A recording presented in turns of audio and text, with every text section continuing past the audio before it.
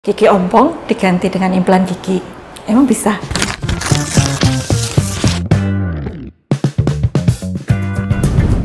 Halo, saya Dr. Eva. Pada video kali ini, saya akan menjelaskan sedikit tentang implan gigi. Buat sobatku yang penasaran, tonton sampai habis ya.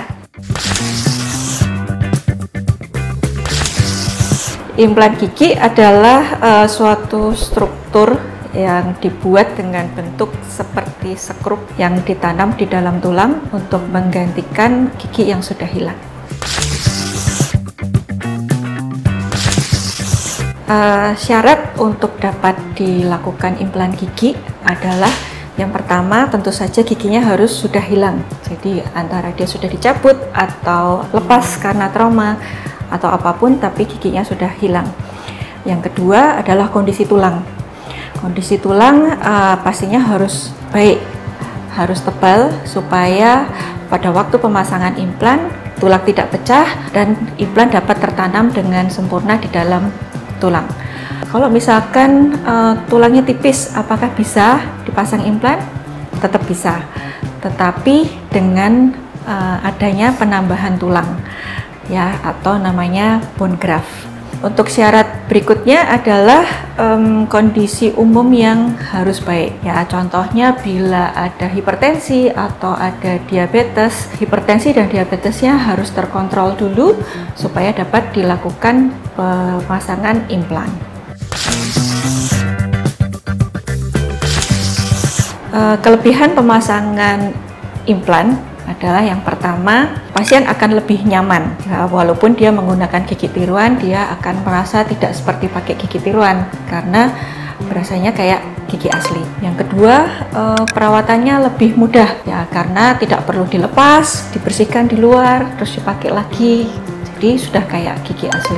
Yang ketiga yang paling penting adalah tulang rahang tidak akan hilang karena begitu giginya dicabut di tulang rahang tidak ada akar, tulang rahang akan lama kelamaan akar resorpsi dan makin lama makin tipis.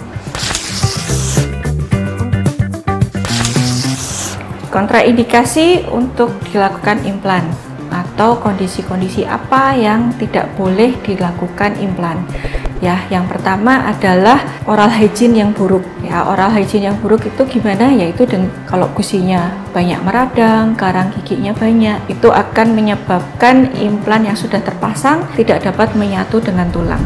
Ya yang kedua adalah uh, bruxism bruxism itu adalah suatu kondisi di mana pasien memiliki kebiasaan buruk pada waktu tidur dia ngerot.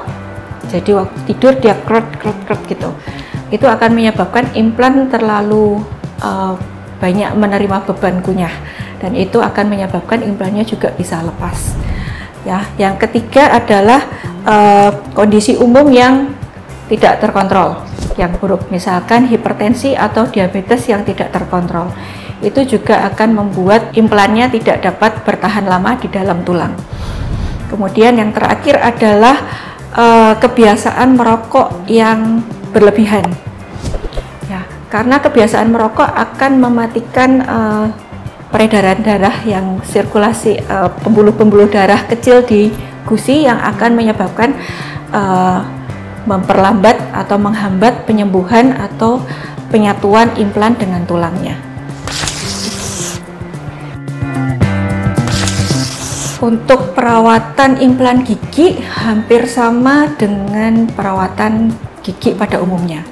Ya, karena implan gigi sudah tertanam di dalam tulang dan bertindak seperti gigi asli. Jadi ya perawatannya sama seperti gigi asli. Sikat gigi yang rajin, kontrol ke dokter gigi 6 bulan sekali dan menjaga oral hygiene yang baik. Buat sobatku yang tertarik untuk melakukan implan gigi, silahkan uh, bikin appointment dan hubungi ke nomor di bawah ini ya. Jika ingin bertanya tentang perawatan gigi atau membahas konten menarik lainnya, silahkan tulis komen ya. Sampai jumpa di tanya dokter berikutnya. Salam teduh untuk sembuh.